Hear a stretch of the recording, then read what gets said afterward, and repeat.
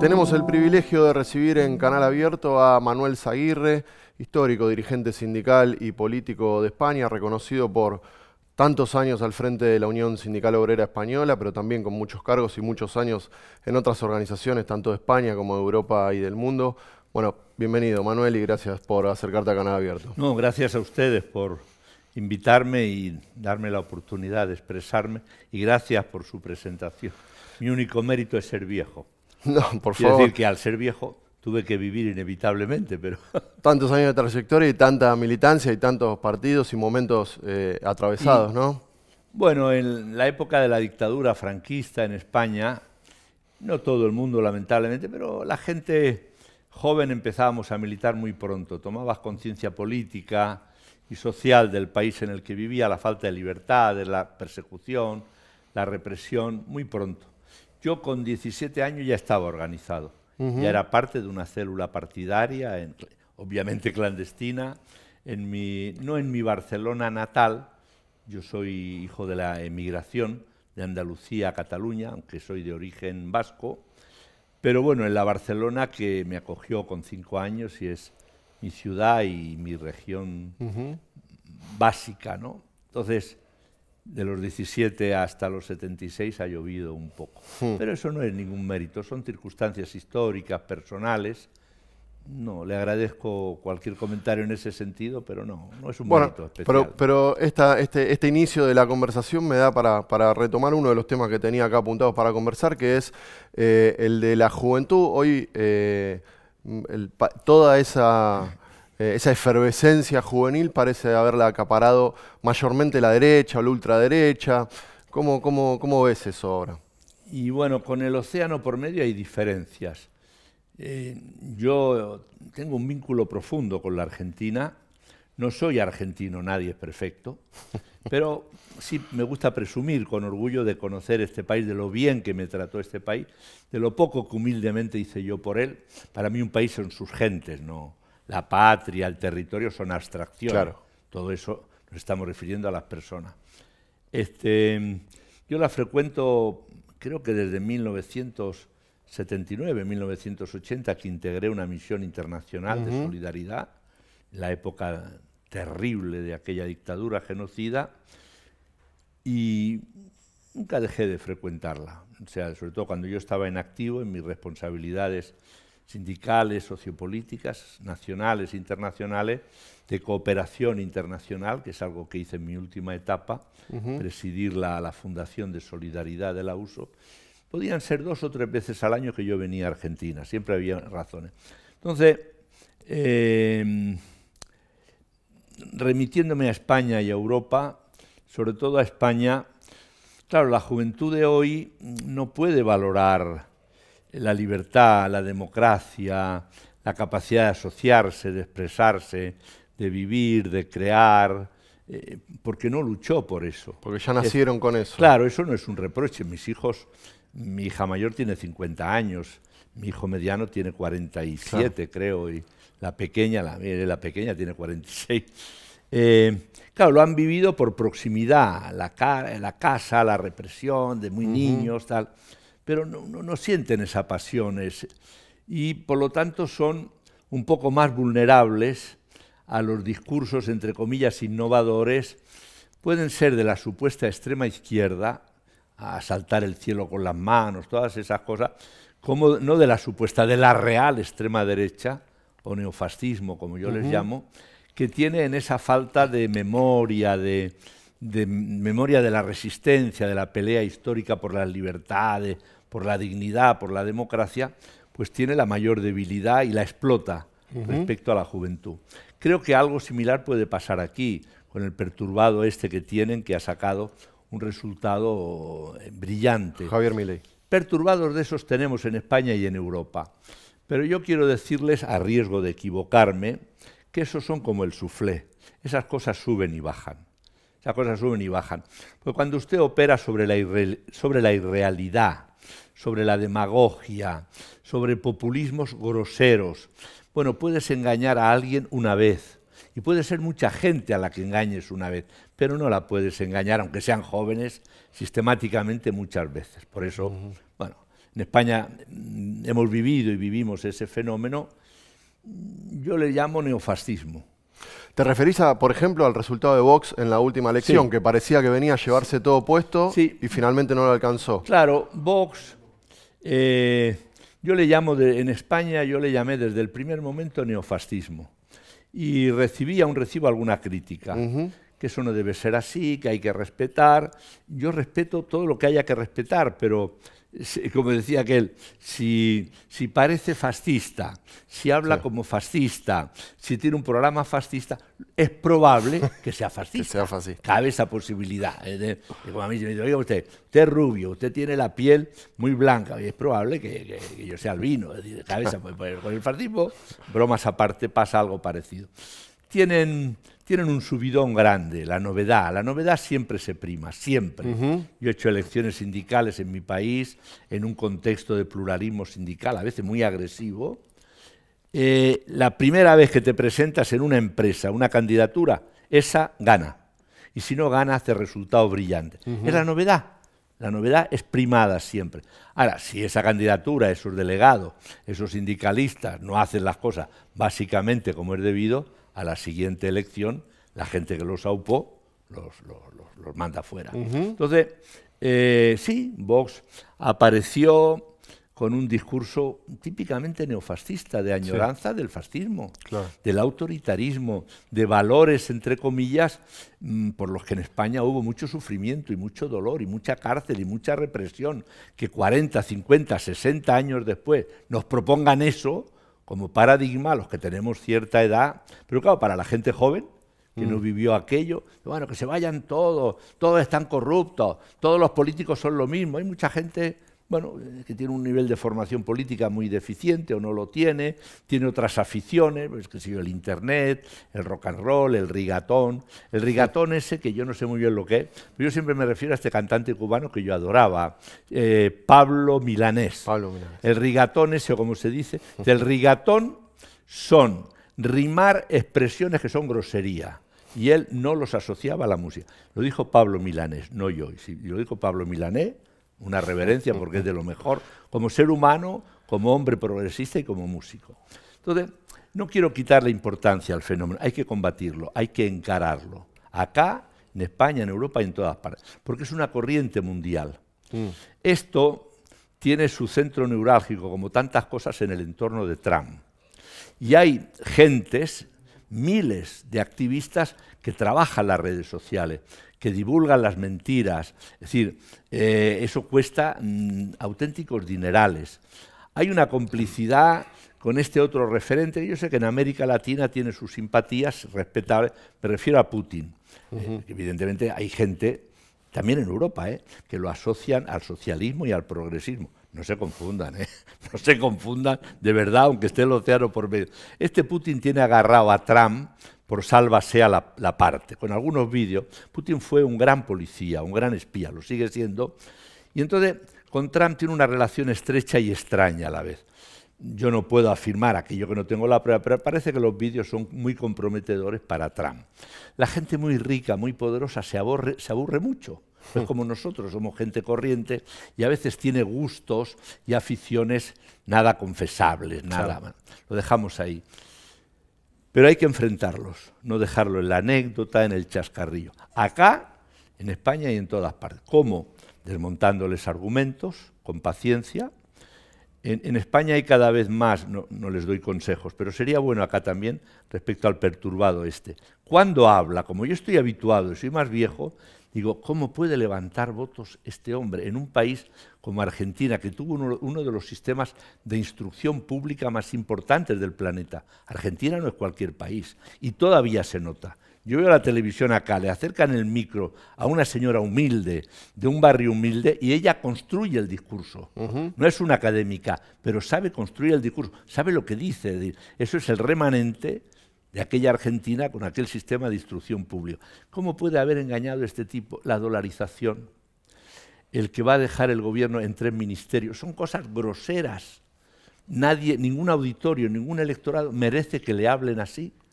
Por lo tanto, eso está llamado a deshincharse, pero encárenlo. No dejen que eso se mueva en la impunidad.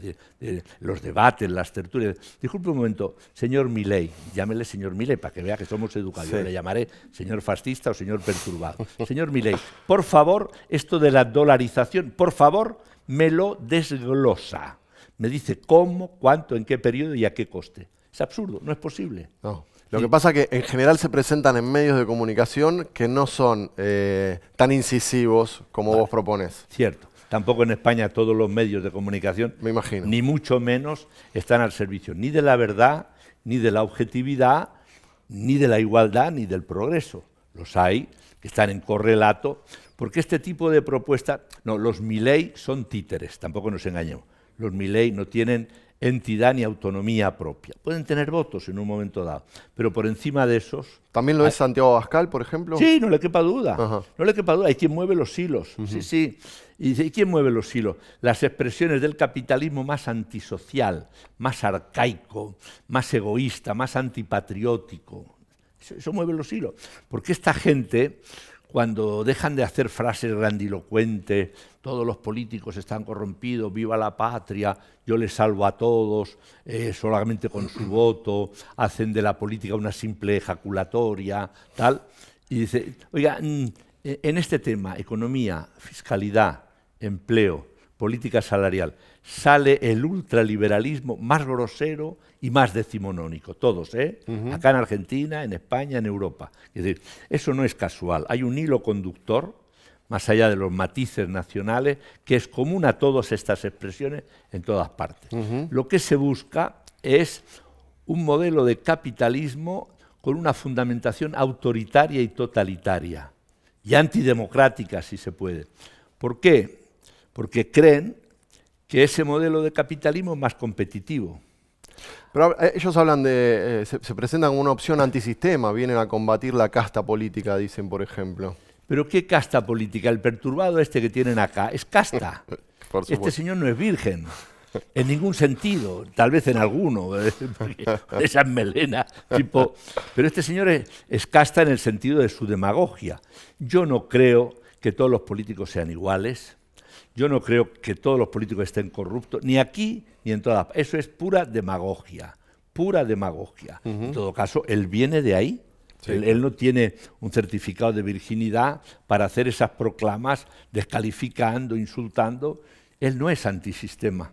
Él sería la expresión más antidemocrática, más antisocial del capitalismo. Porque lo que propone es irrealizable, pero si se intentara realizar, daría de sí en la Argentina un modelo de capitalismo, lamento decirlo, que ensangrentaría las calles. Seguro, seguro. De violencia, por desigualdad, por hambre. Es decir, el tipo cuando sale y lo suprime todo, ¿cómo vas a suprimir todo?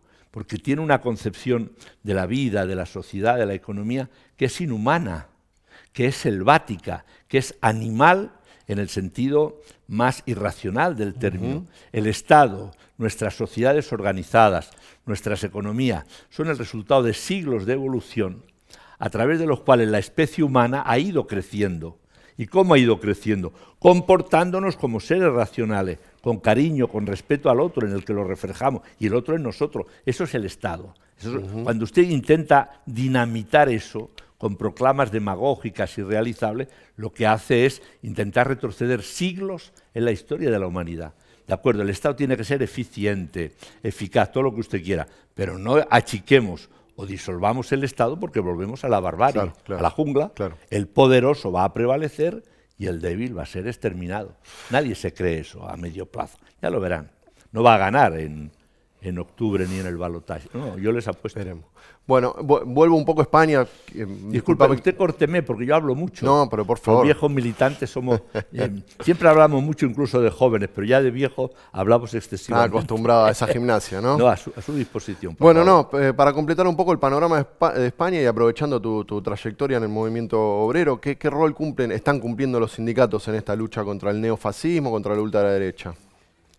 Bueno, en ese movimiento sindical histórico español del que tanto hemos leído y aprendido. Sí, sí, sí, hay, hay una historia para bien, mal, irregular, pero esa historia está ahí. Mm, ¿Cómo le diría? En la, en la etapa actual, con todas las deficiencias que hay, la globalización, hay mucho verso en todo esto, pero hay algo que es bueno y malo a la vez. La única referencia socioeconómica sobre la Tierra es el capitalismo. No hay otra, no hay otra. No es que lo que hubiera antes, aquella polarización, supuesto comunismo, capitalismo, fuera bueno. Para mí nunca lo fue. Pero hoy está claro, la única referencia es el capitalismo.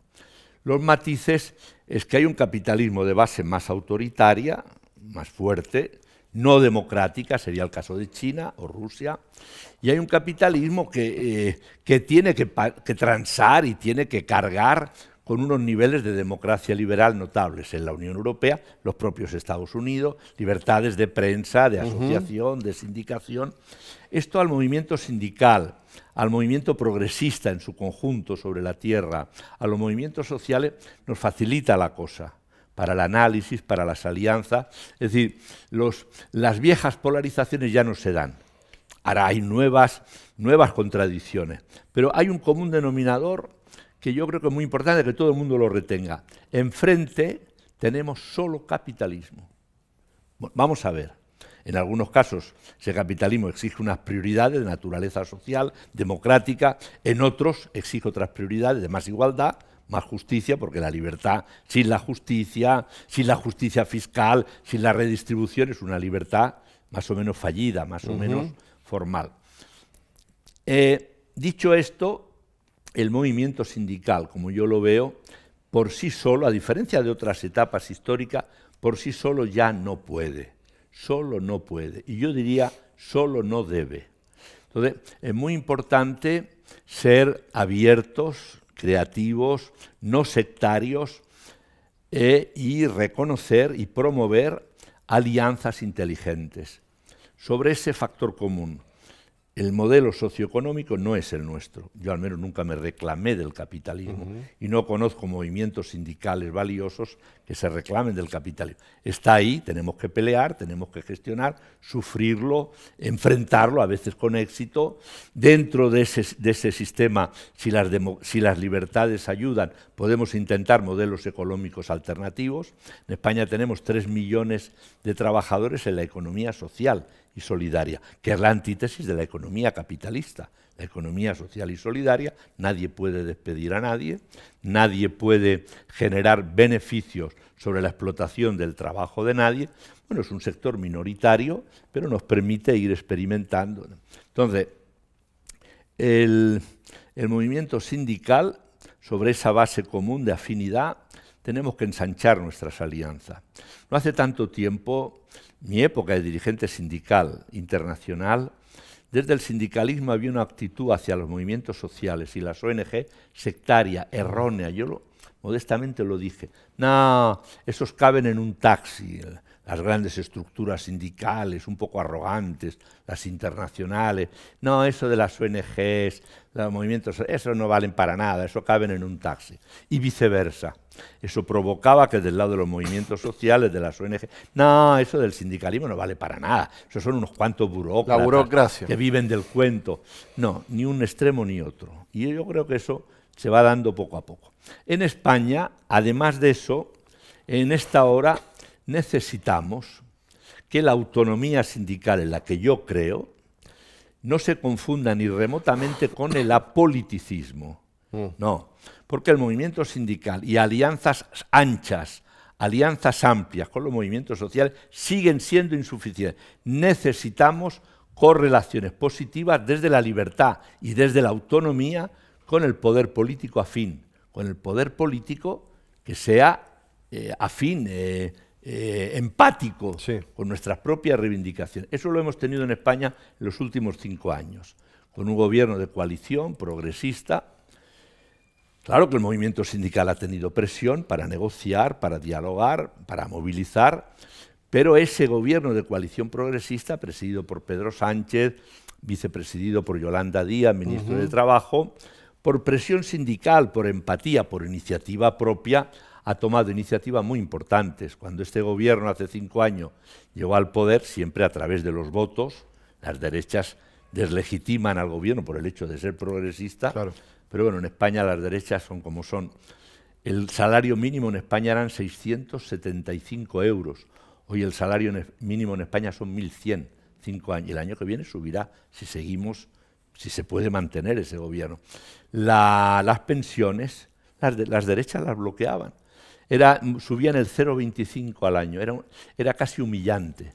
La última subida de las pensiones con este gobierno fue el 8.5 y el 15% para las más bajas, en función de la inflación. Y, como esa les podría hablar de otras cosas, en el orden de las libertades civiles, etc. Entonces, claro, no se trata de que el movimiento sindical, en una alianza amplia con las organizaciones sociales, viva supeditado acríticamente, servilmente al poder político. Se trata que el movimiento sindical ensanche su campo de interacción, de diálogo, de consenso desde la autonomía con, con gobiernos progresistas, si no, no alcanzamos.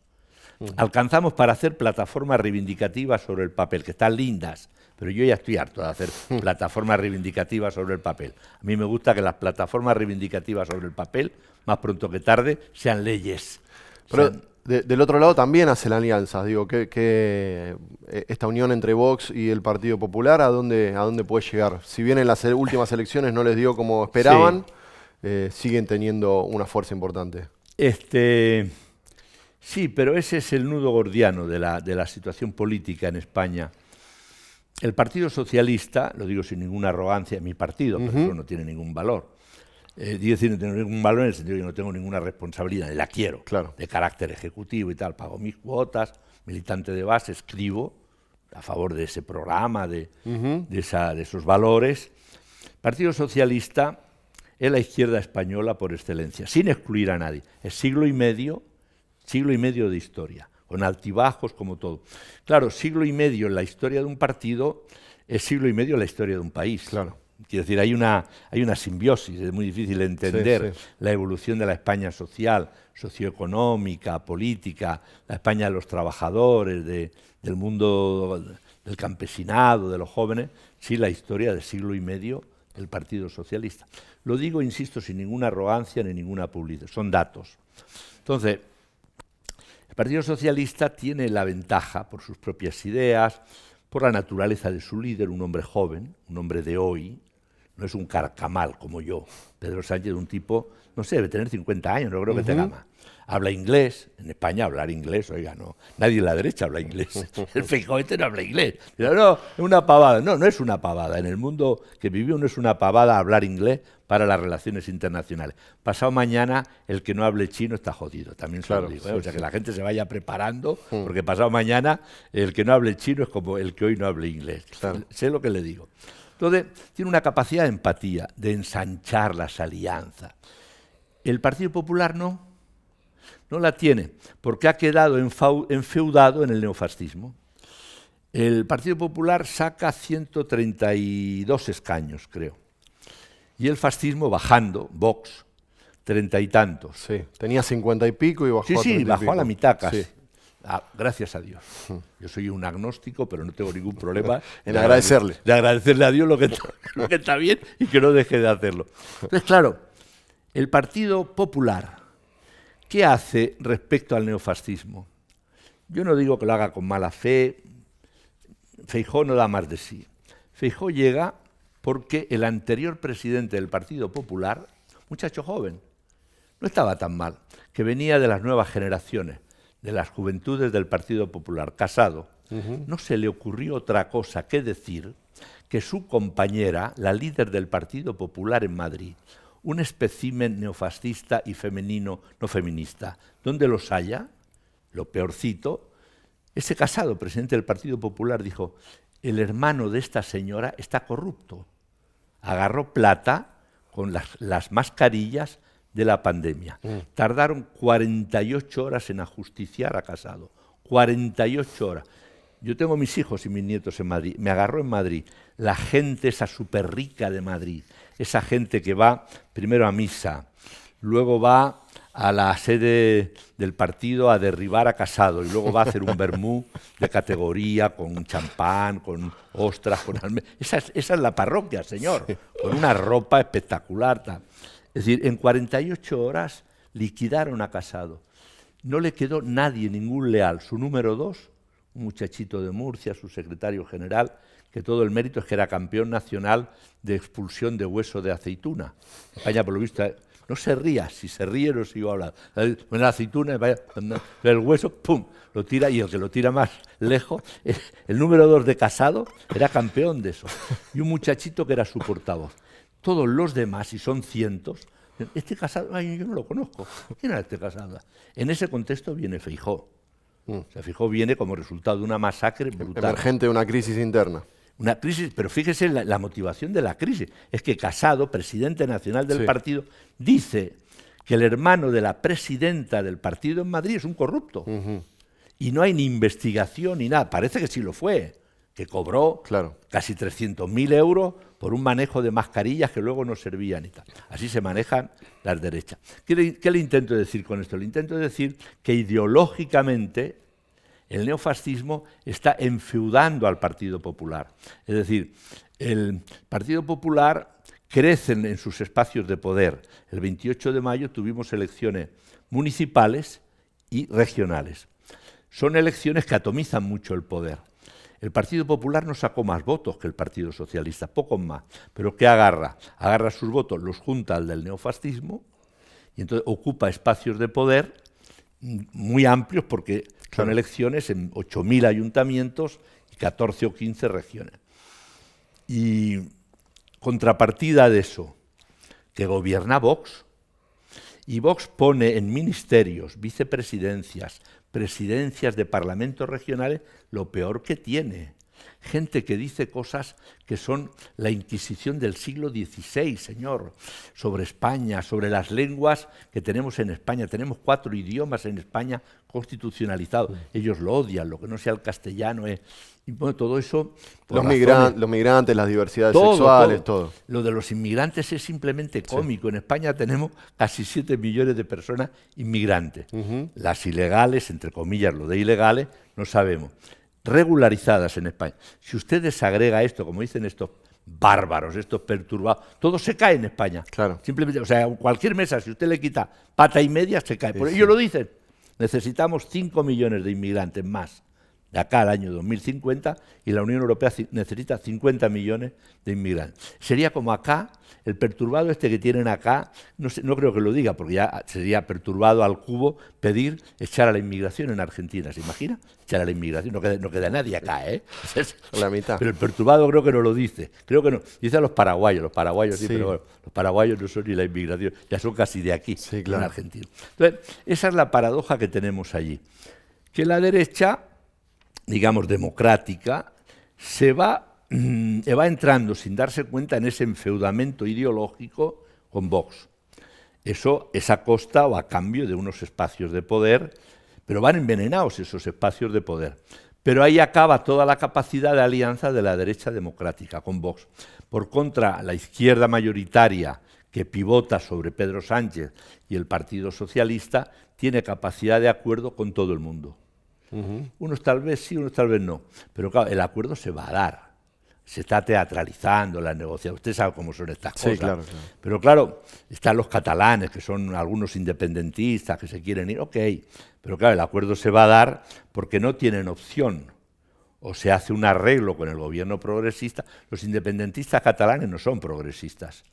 Son gentes de derechas, pero en vez de ponerse una bandera, se ponen otra. Mm. Pero claro, o hacen un arreglo con el gobierno progresista y contribuyen a que Pedro Sánchez sea electo presidente por el Parlamento, después de intentarlo con Feijó y fracasarán, o bien tienen que comerse un gobierno Feijó-Vox, que les odia a todos ellos, nacionalistas. Entonces, estamos en esa tesitura. No va a ser fácil. Creo que la tesitura del compañero Pedro Sánchez va a salir, la tesitura, perdón, la investidura. Ahora, vamos a hacer un gobierno con 17 partidos políticos eh, y veintitantos con los apoyos parlamentarios. Bueno, en Italia lo hemos conocido peor. En la Italia de los años 60 y 70, no, la verdad es que nunca en Italia hubo un gobierno con tantos partidos. Pero bueno, saldremos adelante. Lo, para concluir un poco, eh, bueno, terminar con lo que empezamos, hablando de la juventud, aprovechando tu, tu trayectoria, tu, tu recorrido en la política, en el sindicalismo, ¿qué le dirías a un joven que... Es, cierto que también estos experimentos emergen por los fracasos, por lo menos acá, en Argentina, por los fracasos o los malos resultados de los gobiernos eh, que también eh, se dicen progresistas o se presentan como una opción progresista, ¿no? Entonces, ¿qué le dirías a, un joven que tal vez no convencido ideológicamente eh, busca una salida por ese lado? Solo con palabras o con eslogans es difícil, con eslogans electorales, porque de eso reciben en abundancia. Este, creo que el esfuerzo ha de ser desde más abajo y más sostenido. Es decir, cualquier joven en Argentina, como cualquier viejo, fíjese que lo entiendo hasta yo, eh, lo entiendo. Entiendo que no lo entiendo. Es decir, entiendo que no lo entiendo. Es decir, como una de las de los países o de las naciones más equilibradas, más redonditas de la tierra, en el sentido de tener de todo, tiene esta situación, porque yo son casi 40 años que frecuento la Argentina, y yo siempre la vi parecida, mm. que nadie se moleste.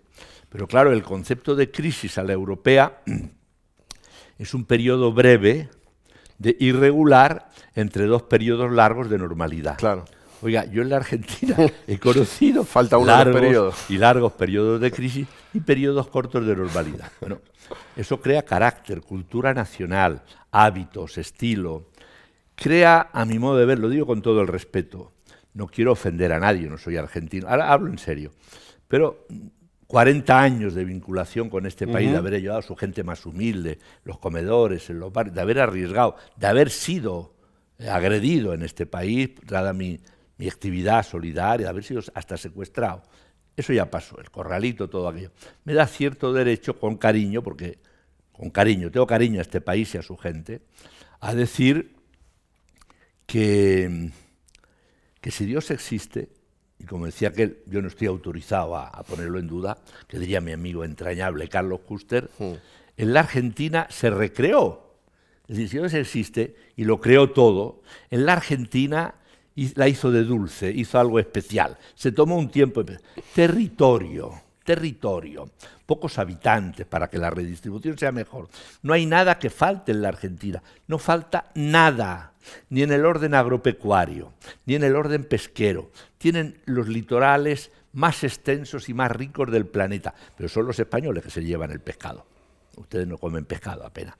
Lo agropecuario es fabuloso, la energía, los, minerales básicos para las transformaciones de la economía actual a la economía, todo está aquí.